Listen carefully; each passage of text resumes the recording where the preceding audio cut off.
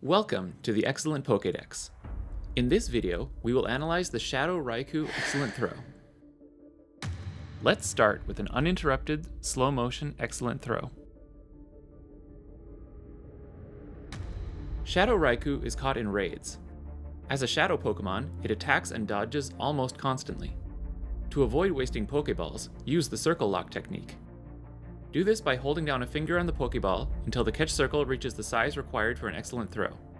Then, wait until the Pokemon attacks. Once it starts its attack animation, you can throw the ball, and if you release before the end of the attack animation, the circle will still be the correct size for the excellent throw.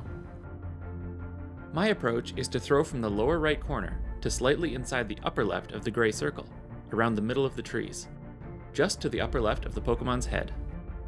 The Pokemon is at a moderate distance and requires a medium release speed.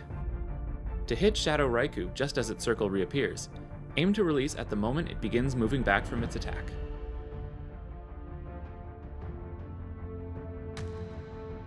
Here are some other examples of successful release points. As you can see, there is some variation possible in the throw, since while it is far away, the catch circle is large. This shows the maximum catch circle size for an excellent throw, where the catch circle is 30% of the diameter of the gray circle. Thanks for watching. To see the rest of the excellent Pokédex, please hit like and subscribe. I'll see you next time.